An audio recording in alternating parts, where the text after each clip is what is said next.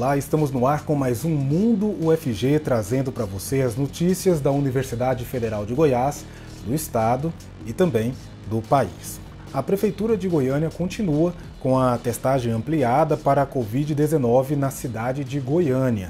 O objetivo é identificar pessoas acima de 12 anos de idade contaminadas pelo novo coronavírus e que estejam assintomáticas. Os testes são feitos na modalidade drive-thru, onde a pessoa não precisa descer do veículo para a coleta do material, mas também há tendas para atender pedestres que queiram fazer os exames. Na última semana de agosto, as regiões Sul e Campinas Centro receberam as equipes que estão realizando os testes. Mais de 34 mil moradores da capital já foram examinados. Destes, cerca de 4 mil foram diagnosticados positivo. A pessoa que testa positiva, ela vai receber um atestado médico, ela vai passar também pelo médico, né? vai ter um atendimento, vai receber um atestado para que ela fique afastada é, do seu serviço durante 14 dias, evitando assim a transmissão para doença, da doença para os colegas de trabalho, para os seus familiares. Então, a partir do momento que ela se torna positiva, ela é, é orientada a ficar em isolamento social. E você tem alguma dúvida sobre a Covid-19? Recebeu pelo WhatsApp a informação de um medicamento que poderia ser a cura para a doença, mas ficou meio desconfiado? Saiba que o Centro de Informação, Pesquisa e Estudo pode te atender para que você saiba mais sobre a Covid-19 e também sobre o uso de medicamentos. A iniciativa é da UFG, em parceria com a Secretaria Municipal de Saúde. Como as pessoas podem entrar em contato com esse Centro de Informação, Pesquisa e Estudo? Então, esse centro a gente tem um, um site é, que pode consultar as, as principais informações, mas ah, para responder as dúvidas, é, basta mandar um WhatsApp é um, para o 3209-6297. Certo. E que tipo de informação as pessoas têm acesso? Então, esse, esse centro de informação, ele foi pensado para responder as principais dúvidas com relação a alguns problemas, principalmente com foco no uso de medicamentos. Mas agora, por causa da, da pandemia, o foco está sendo a Covid. Então, ela pode é, enviar perguntas com dúvidas sobre é, prevenção, sobre diagnóstico e tratamento. Né? Uhum. Então a gente recebe dúvidas do, do tipo, eu estou com algumas, eu estou me sentindo de determinada forma, isso pode ser o Covid? A gente não dá diagnóstico, mas a gente orienta a pessoa, né, se existe uma possibilidade daquilo ser realmente um sintoma do Covid, como que ela deve proceder, né? E, e, com relação ao tratamento, é, isso ajuda, aumenta a, a, imunidade ou não, né? E essas coisas assim. A professora explicou que diariamente o centro recebe diversas dúvidas sobre formas de contágio e combate ao novo coronavírus. Boa parte delas não passa de boatos ou métodos sem a menor comprovação científica. Conhecimento científico no combate à fake news. Exatamente, é isso sabe? É isso. Porque a, a gente tem visto é, circular vários tratamentos, né, dos mais diversos tipos de tratamento, é, com, com promessas milagrosas de não adoecer, ou de se adoecer, se tratar fica bom, e o que, é, o que às vezes as leva as pessoas a cometerem algumas, alguns erros, né? Achar, baixar a guarda é, e deixar de fazer aquilo que realmente até hoje se sabe que da Covid que é realmente que previne, que é o isolamento, usar máscara, lavar as mãos constantemente, né? Então, quando eu acredito que eu tenho uma cura, quando eu acredito que eu estou imune porque eu estou tomando um determinado produto, eu, ba eu baixo a guarda, né? Eu, eu, eu relaxo essas medidas que são realmente as medidas que são realmente eficazes, né? E aí eu, eu me exponho mais a mim, minha família, a contrair essa doença, né, que é tão séria que a gente tem visto aí, né, os danos que ela tem trazido. No dia 24 de agosto, o primeiro caso de reinfecção pelo novo coronavírus foi confirmado em Hong Kong. No dia seguinte, foram confirmados outros dois novos casos, na Bélgica e na Holanda, e isso acende um alerta. Aqui no Brasil, segundo o noticiado, há 20 casos suspeitos de reinfecção que estão sendo investigados. 16 deles estão em São Paulo. De acordo com uma infectologista, isso indica que o vírus deve continuar circulando por mais tempo, assim como acontece com outros, como a H1N1. Também, mesmo com o surgimento destes casos, a suspeita de que a imunidade de quem se curou seja transitória, mas não dá para afirmar que seja um padrão. Novos estudos estão sendo feitos sobre esse assunto. Hora de um rápido intervalo aqui no Mundo UFG, mas em poucos minutos estamos de volta com outras notícias da Universidade Federal de Goiás.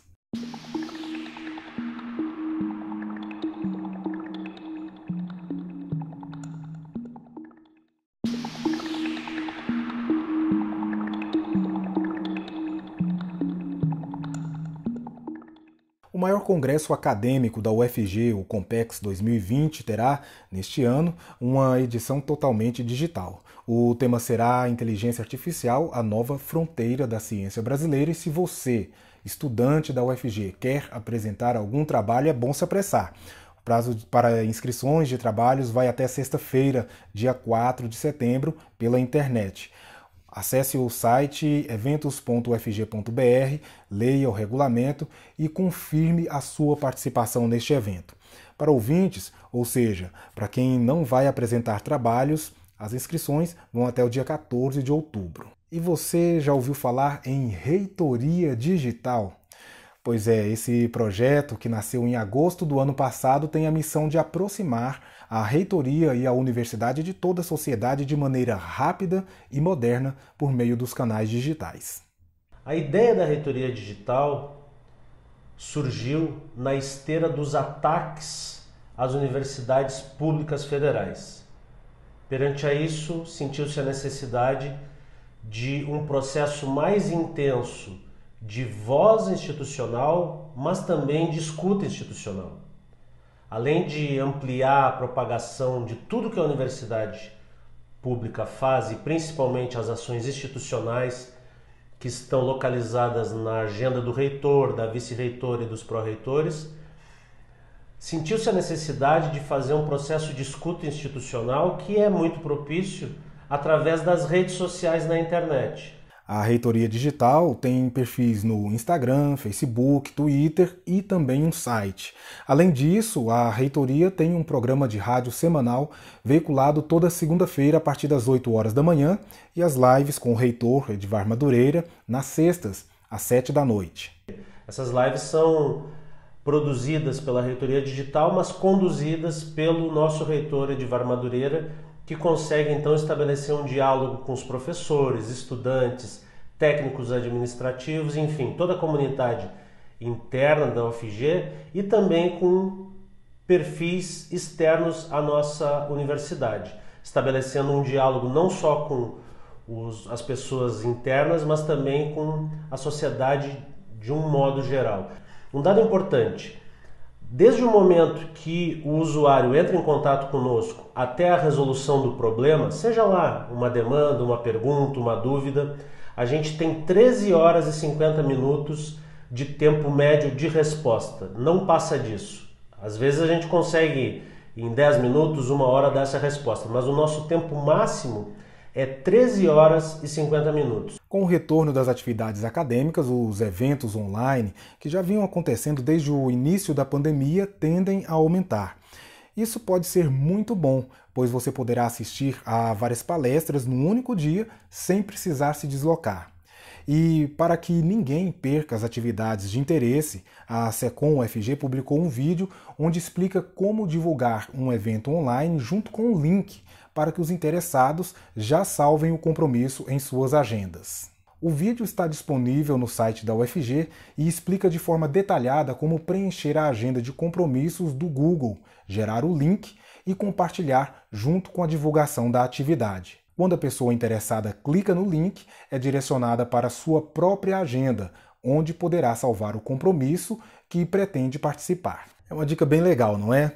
E se você quiser saber mais, pode assistir o vídeo completo no site da UFG ou entrar em contato com a SECOM da universidade. Vamos para mais um rápido intervalo e no próximo bloco vamos falar sobre uma pesquisa da UFG que estuda os efeitos da vacina BCG na proteção contra o novo coronavírus. Eu volto em alguns minutos.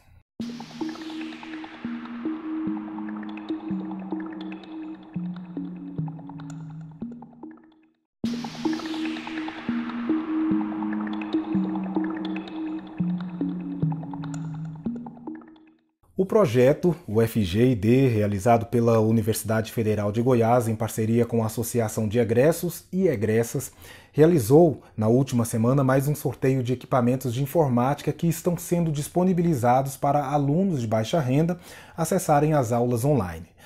Mas atenção, alunos que foram contemplados pelo programa. Há um prazo determinado para que seja feita a retirada do equipamento. Caso perca esse prazo, o contemplado volta para o final da fila. Os nomes sorteados no segundo lote, que entrega 83 equipamentos, têm até o dia 2 de setembro para fazer a retirada. E aproveitando esse assunto, esses equipamentos que estão sendo doados ou emprestados aos alunos chegaram na UFG através de doações. Então, se você possui algum tablet ou algum computador que não usa mais, ou mesmo peças e periféricos usados, mas em funcionamento, tudo isso é muito bem-vindo no UFGID. Agora, se você não possui nenhum equipamento, mas quer participar, entre no site ufgid.ufg.br e veja como contribuir. O objetivo é disponibilizar 5 mil equipamentos para que alunos de baixa renda possam acompanhar as aulas online do semestre letivo, que foi retomado no dia 31 de agosto. E tem mais notícia boa sobre o UFGID? Sim, tem mais notícia boa. Olha só, a Receita Federal também entrou no programa e fez a doação de 597 celulares e smartphones apreendidos durante operações da Delegacia da Receita Federal em Goiás. Esses aparelhos são oriundos de importações irregulares e vão ajudar esses alunos que não possuem esses equipamentos a acessarem as aulas online. E olha só, uma pesquisa da UFG pretende investigar os efeitos da vacina BCG contra o novo coronavírus. A vacina BCG normalmente é aplicada em crianças para prevenir a tuberculose. Agora, esses estudos usam o imunizante em profissionais de saúde para verificar a capacidade de proteção contra a síndrome gripal. Então, a expectativa é que a vacina BCG induza uma resposta imune que possa diminuir os agravos da doença. Que a gente não tenha morte de profissionais da área da saúde, que eles não sejam hospitalizados, que eles consigam é, lidar de maneira menor, o próprio corpo deles consigam lidar de maneira melhor quando eles entrarem em contato com o vírus da Covid-19. Talvez seja importante também reforçar que essa pesquisa ela está em andamento, né? E, e que isso não gere uma expectativa ou, sei lá, uma busca pela, pela vacina, assim como aconteceu com outros medicamentos. Sim, sim. Não, nem deve, né? Isso é uma hipótese né, de pesquisa que precisa ser avaliada ser comparados os dois grupos, vai ter um grupo de profissionais da área da saúde que não vai ser vacinado e vai ser acompanhado dentro do mesmo período, dentro do mesmo hospital, e um grupo que vai ser vacinado. Então, só no final, quando comparar os dois grupos que estavam expostos aos mesmos pacientes de Covid-19 no mesmo ambiente, é que nós vamos saber se realmente a vacina BCG induziu proteção ou não ou melhorou os agravos da doença ou não, só no final. A pesquisa está em fase de recrutamento de voluntários e aguarda a liberação de recursos para iniciar os testes. É, tão breve seja liberado esses recursos, a pesquisa deve se desenvolver até o primeiro trimestre de 2021 e já tenha resultado. Antes de encerrar a conversa, a professora e pesquisadora Ana Paula falou como a pandemia acabou impactando de forma positiva a comunidade científica. Foi uma oportunidade para fazer a, a, comunidade como um todo, sem ser o cientista, entender a importância da ciência, a importância dos pesquisadores e ajudou também a integração da pesquisa no mundo todo. Porque hoje eles procuram a, a, os pesquisadores brasileiros para testar as vacinas que foram feitas fora do Brasil, né? Os pesquisadores brasileiros que estão tentando fazer alguma vacina fizeram colaborações também internacional, então eu acho que foi uma oportunidade ímpar, inclusive de financiamento, né, na pesquisa e, por exemplo, no Brasil, que o financiamento para pesquisa no Brasil estava paralisado e, e, e, infelizmente, né, por causa dessa pandemia, teve que se apressar e se trocar políticas de financiamento e várias pesquisas acabaram sendo financiadas, né. Agora é torcermos para que na pós-pandemia esses investimentos e reconhecimentos à ciência e pesquisa brasileira continuem, né? Bom, o Mundo UFG de hoje fica por aqui. Eu agradeço a sua audiência e companhia. Lembrando que de segunda a sexta estamos aqui a partir das quatro da tarde trazendo conteúdo e informação. É sempre muito bom ter você conosco. Um abraço e até a próxima.